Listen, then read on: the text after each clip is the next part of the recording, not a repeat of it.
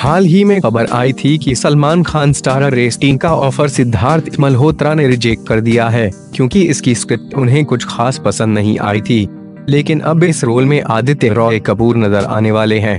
DNA का दावा है कि आदित्य रॉय को रेस्टीन में कास्ट किया जा रहा है।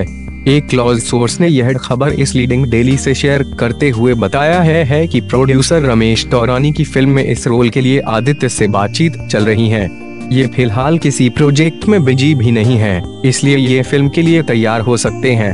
वहीं, मेकर्स का मानना है कि आदित्य इस रोल के लिए परफेक्ट हैं क्योंकि इससे पहले इन्होंने ऐसा रोल कभी नहीं किया है।